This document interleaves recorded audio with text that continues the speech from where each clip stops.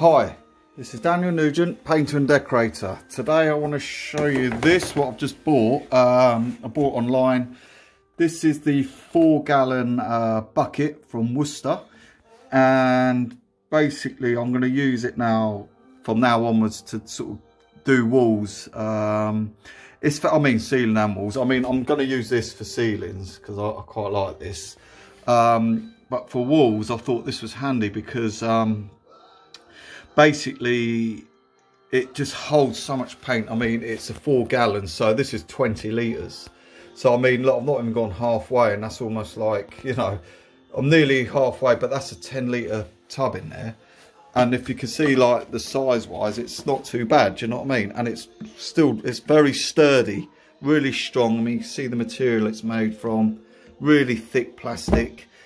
Um, it comes with this lovely handle. It's like a it's got like the ridges for your fingers, so you grip it, it kind of moves around, you know what I mean? But um, it doesn't matter because when you go to pick it up, straight away, feels great.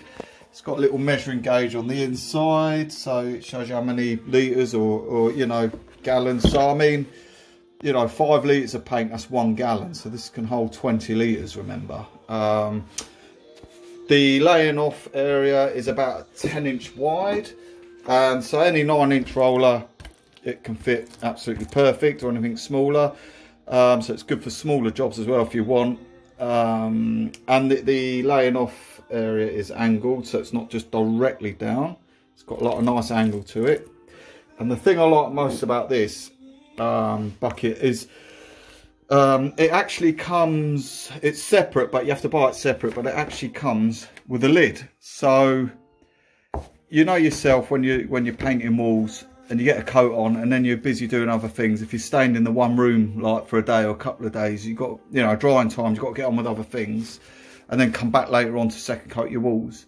If you usually leave it in a tray like that you've either got to pour it back in put everything away which takes time or you know you, you chuck a bit of water on top to try and keep it fresh or you forget and it's a hot day and then it, it starts to skin over your paint, you know.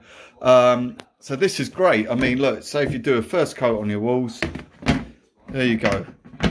Get your lid on like that. It stays nice and fresh until later on you want to use it again. Lid off, away you go. It's an amazing idea and I, I think it's the way forward. I'm going to start using these from now on just for speed and time saving. Yeah, really good bit of kit. So that's the four gallon bucket by Wooster, which I've bought two of these now. And I've got one of these that I said I've already done a review on this, the Wooster Sherlock. Um, so yeah, yeah, that's that's the way forward for me with trays. I think gone are these days now.